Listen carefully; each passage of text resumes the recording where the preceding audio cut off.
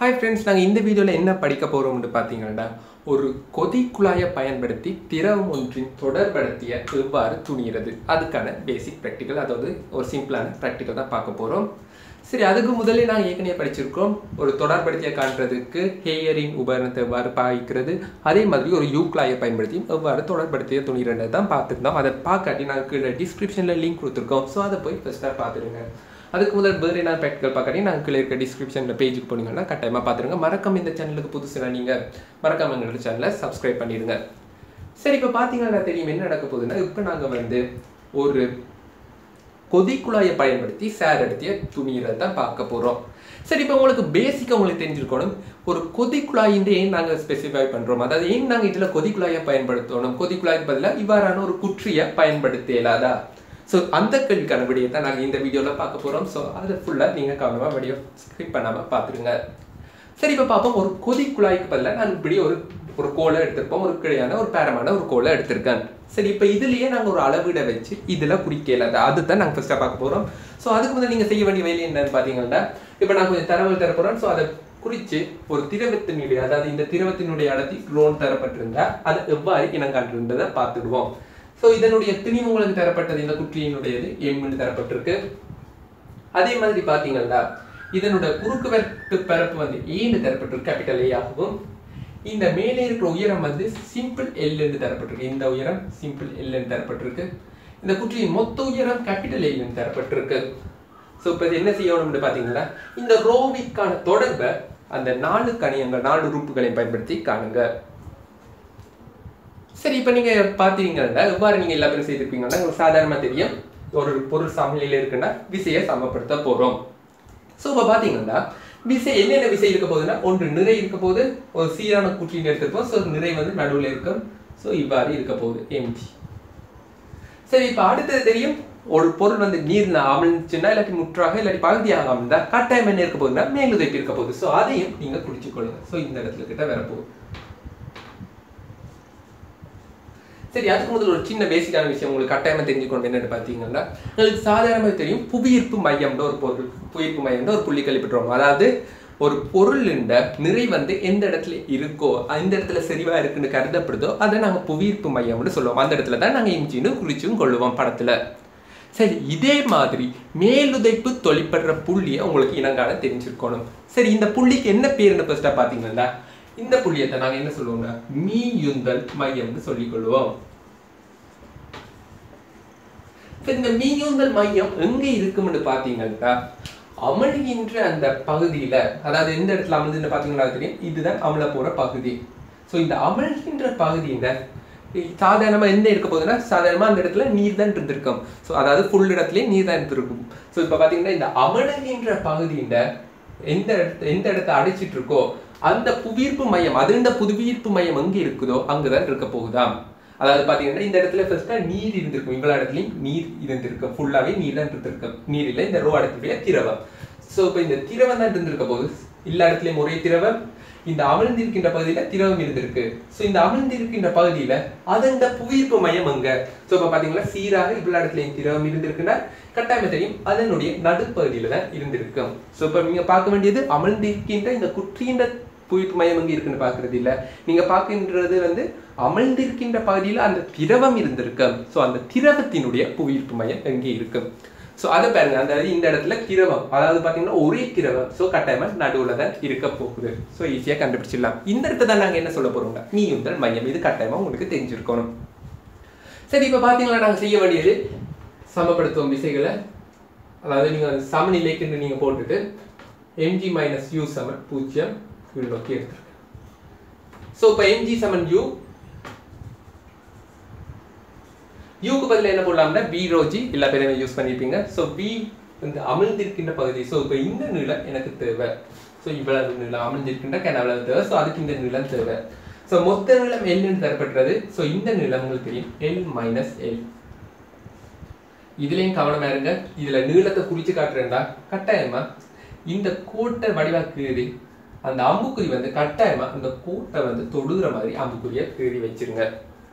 So இப்போ பார்த்தீங்கன்னா இந்த கனவுல போட்டிங்கன்னா capital L minus single L into A rho g so இப்போ எங்களுக்கு என்ன செய்ய போகிறோம்னா நீங்கள் ரோவை வந்து எக்ஸ்லேயும் எல்ல வந்து பையிலையும் எடுத்து கிராஃபுக்கான ஒரு சவுன்பாடை எடுத்துக்கொள்வோம் ஸோ இது உங்களுக்கு தச்சில் இந்த கிராஃப்கான சவுன்பாடு எவ்வாறு எடுக்கிறேன்னு தெரியாட்டி நாங்கள் போன வீடியோஸ் எல்லாம் செய்திருக்கோம்.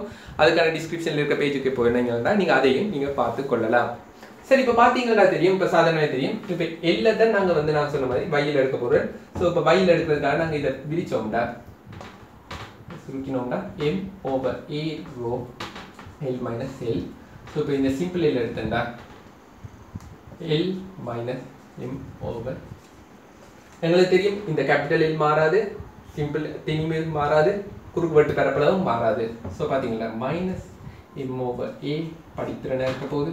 One over rho plus X so அதாவது by seven M X plus சரி இதுக்கான கிராஃப் எவ்வாறு வரும்னு பார்த்தீங்களா தெரியும்? இவ்வாறு உங்களுக்கு தந்துட்டு ரஃபாக ஒரு கிராஃபை ஸ்கெச் பண்ண சொல்லியும் கேட்கலாம்.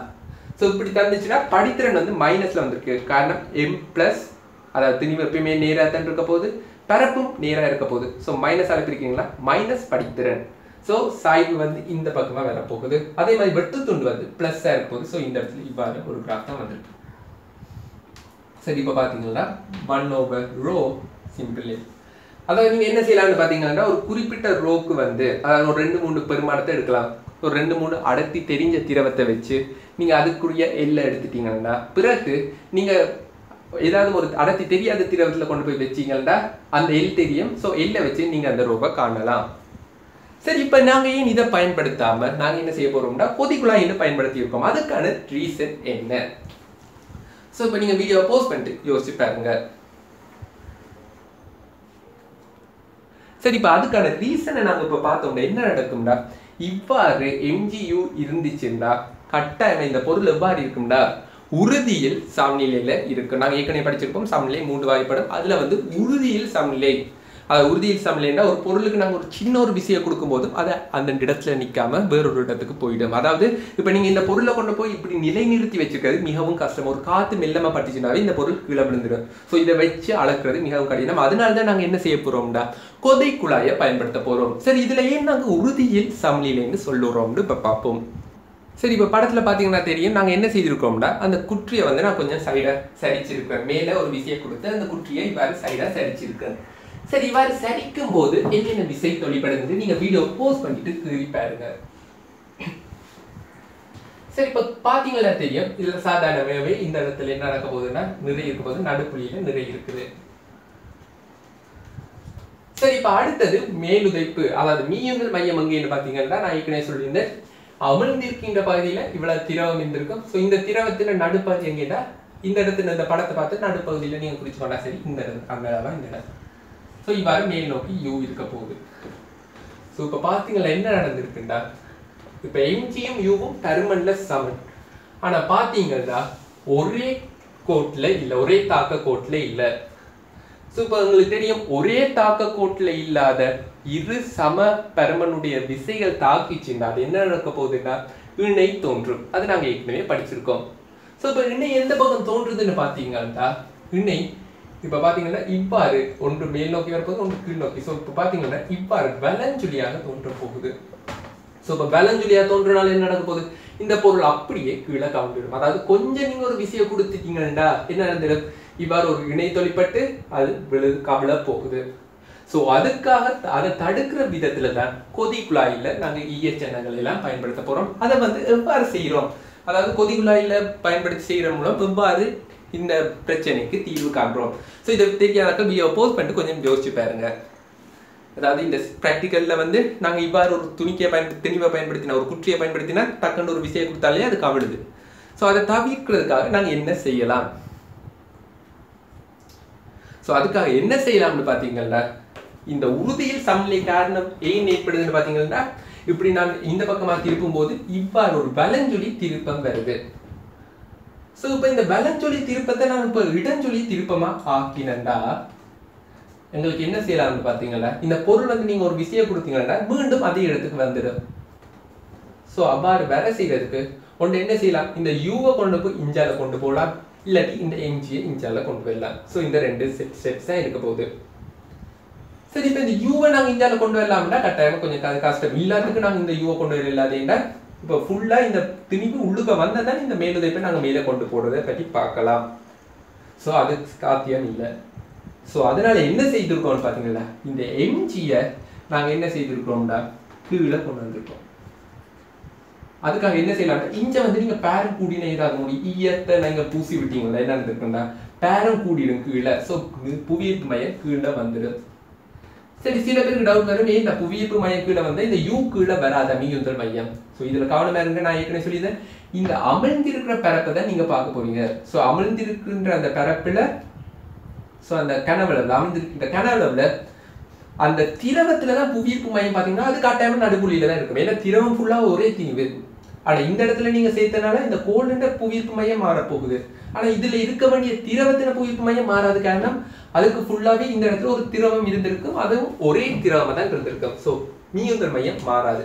ஸோ இப்போ பார்த்தீங்கன்னா தெரியும் இந்த இடத்துல என்ன நடக்க போகுதுன்னா இடஞ்சுழி திருப்பம் வந்துடும். ஸோ இப்போ பார்த்தீங்கன்னா ஒரு பொருளை வலது பக்கமாக தட்டினீங்கன்னா இடப்பக்கமாக திரும்புது. அதாவது திருப்பியும் ஆரம்ப அடைய போகுது அதாவது உறுதி சமநிலையை அடைய போகுது ஸோ இதனால் தான் என்ன செய்திருக்கோம்னு பார்த்தீங்கன்னா நாங்கள் வந்து ஒரு சாதாரண ஒரு குற்றியை பயன்படுத்தாமல் அதுக்கு பதில் என்ன செய்திருக்கோம்னா ஒரு கொதிக்குழாயை வச்சு அந்த கொதிக்குழாயிலையும் பார்த்தீங்கன்னா நாங்கள் கீழே ஈயச்சன்னங்களை போடுவோம். ஸோ ஈயச்சன்னங்களை போடுறனால என்ன நடக்க போகுதுன்னா அதில் வந்து ஒரு கீழே வந்து ஒரு பே பயங்கரம் நிறைய ஏற்பட போகுது. பயங்கரத்தினுடைய மாஸ் வந்து கூட போகுது. ஸோ மாஸ் கூடுறனால என்ன நடக்க போகுது? அதில் வந்து வெயிட் வந்து கீழே வந்து வரப்போகுது ஸோ இதுதான் நடக்கிற கன்செப்ட் ஸோ இது பிடிச்சிருந்தா மறக்காம இந்த வீடியோ லைக் பண்ணுங்க. ஏதாவது டவுட்ஸ் இருந்தால் கீழே கமெண்ட்ல லீவ் பண்ணுங்க. இது தொடர்பான அதாவது கொதிக்குழாயை பயன்படுத்தி எவ்வாறு துணிகிறன்றது வீடியோ தொடர்படுத்தி எவ்வாறு துணிய போகிற வீடியோ அடுத்த வீடியோவாக நாங்கள் பப்ளிஷ் பண்ணுவோம். ஸோ அதையும் மறக்காம பார்த்துருங்க. தேங்க்யூ